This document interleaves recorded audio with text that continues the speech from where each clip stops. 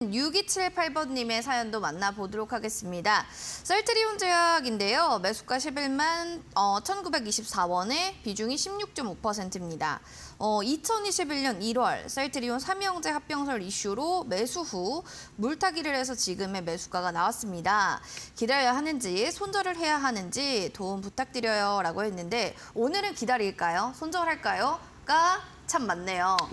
소장님, 이제 좀 정체가 되어 있는 지금 이 셀트리온 제약 어, 어떻게 좀 기다려 볼까요? 아, 너무 아까워요. 사실은 어, 한 번은 기회가 어, 있었습니다. 그러니까 이제 이 차트를 보시면은 여러분들 느끼시겠지만 에, 올 어, 3월달에 이러한 구간들이 한 번 있었죠. 그리고 또뭐 어, 복귀설 얘기라든가 여러 가지 4월달에도 한 번 이렇게 있었는데. 에, 이제 요, 이때 시점에서는 야 조금만 더 가면 내가 본전 되겠다 음, 이런 그쵸. 생각을 아마 가졌을 거예요. 그랬을 때 우리가 이 매직 솔루션을 여러분들이 보셨다면 얼마나 좋았겠습니까? 아주 전형적인 모습이거든요. 이렇게 빨간 다이아가 잘 유지되니까 홀딩하는 건 좋습니다. 그런데 에, 지난 3월 달 같은 경우에도 이렇게 파란 시그널이 나와주고 어, 또 여기 구간들 보면 파란 다이아로 바뀌었잖아요. 그러면은 최소한도 아, 이 시점에서 내가 50%라도 정리를 했다가 아, 기다려봐야 되겠다. 그리고 파란 다이아로 바뀌었을 때 100%를 하든 아니면 다시 여기서 또 대반등이 왔었습니다. 이때라도 정리를 다 했었으면 지금 같은 시점이 여러분들을 괴롭히지 않았겠죠. 자, 지금의 모습을 한번 여러분들 보시겠습니다. 어떻습니까?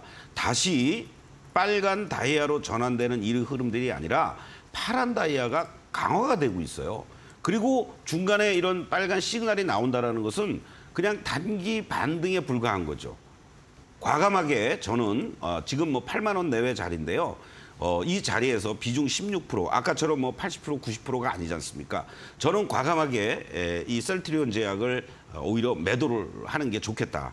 에, 감히 말씀을 드리겠습니다. 그래서 이거 역시 지금 뭐 7만 원, 8만 원대에 놓여져 있는 뭐 흔히 얘기해서 차라리 삼성전자 7만 원대에 가서 물리는 게 오히려 낫다. 그쵸, 그쵸. 예, 저는 네. 이렇게 말씀드리겠습니다. 그래서 어, 뭐 롱 플레이를 하시고 장기간에 걸쳐서 하시니까 어, 정말로 나는 이걸 너무 못 팔겠다라고 하면은 반이라도 이걸 정리하셔서 삼성전자로 그냥 갈아타시는 게 오히려 낫지 않겠느냐 이런 말씀 드리겠습니다.